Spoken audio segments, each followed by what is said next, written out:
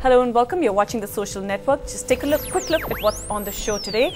Hours before the 64th Republic Day of India, another brutal murder and rape reported in the national capital region of a young girl student. Women across the country plan to reclaim the republic by coming out on the streets to demand freedom from sexual violence against women.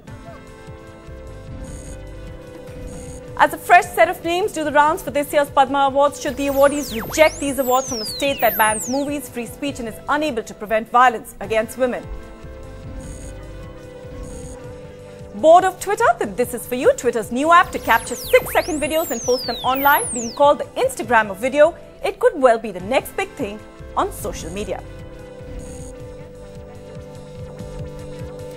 On the eve of India's 64th Republic Day, another gruesome reminder of how unsafe our women continue to be in India.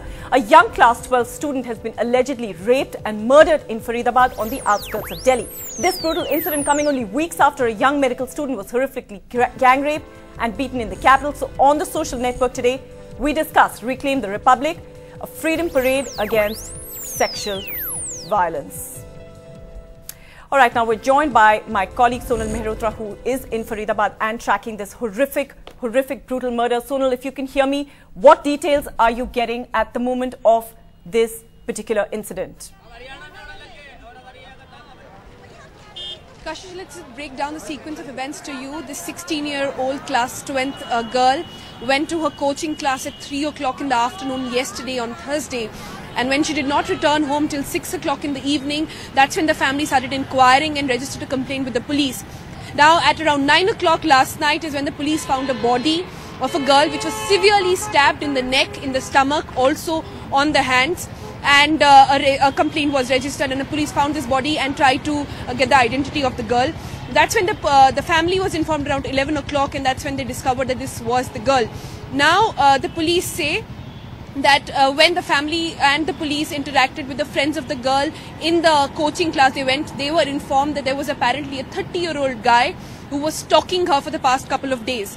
That's when the police started investigating, and today they have been able to arrest a 30 year old guy called Sonu, and he has confessed to killing the girl. Now, we do not know the motive of the man just yet. Uh, it hasn't been confirmed just yet, but police saying that apparently, and by police sources, we know that uh, uh, he wanted to marry her and uh, and something which the girl was uh, was not agreeing to, and that's what led to a fight. And later he stabbed and killed her. But uh, the details of, uh, uh, but you know, just to look into the manner in which the girl has been treated, brutally uh, stabbed on her neck, on her stomach, and her parts of the body. Goes on to say the this, the way the man really treated this young girl. The family, as we speak, is now heading into the last rites and are deeply at loss. They say and they are alleging that the girl was first kidnapped, then raped, and then uh, murdered this way. But for details of that, we'll have to wait for the postmortem report. Uh, Kashish? All right, Sonal, of course, uh, you know, you also did cover that horrific story just a few weeks ago of that 23-year-old medical student, this uh, shocking, brutal story once again in the national capital region. In fact, uh, you know, the brutality of this particular incident, once again, we've decided to change our topic on the social network just to get reactions. We've got Kavita Krishnan, who's uh, the uh, secretary of the All India Progressive Women's Association. We've also got Sucheta, who is, of course, going to be carrying out and spearheading that campaign tomorrow on Republic Day, joining us on uh, video calls are Harini Calamur. She's in Bombay. She's a blogger and a columnist. And we've got Jasmeen Patheja, who's from The Blank Noise. And of course, just a quick reminder to all our viewers, you can tweet us live as we speak on this topic. Kavita, I just want to throw that out to you. Just heard Sonal giving the details of that particular incident. I mean, you know, at some point, words just fail you. You know, I've just been, you know, if, if it was true that she was being stalked, I mean, this is what you know, in, even in these last couple of weeks, I've been writing and talking about one stalking incident. And in that case also, first the police didn't register a complaint and then finally they still haven't caught the guy. And even if they do, we still don't have a law that recognizes stalking. The Home Ministry, yeah. when women's groups had written saying, include stalking in the sexual violence uh, law, had written back saying, oh, we don't know how to prove stalking, which is completely crazy. India's number one news app just got even better.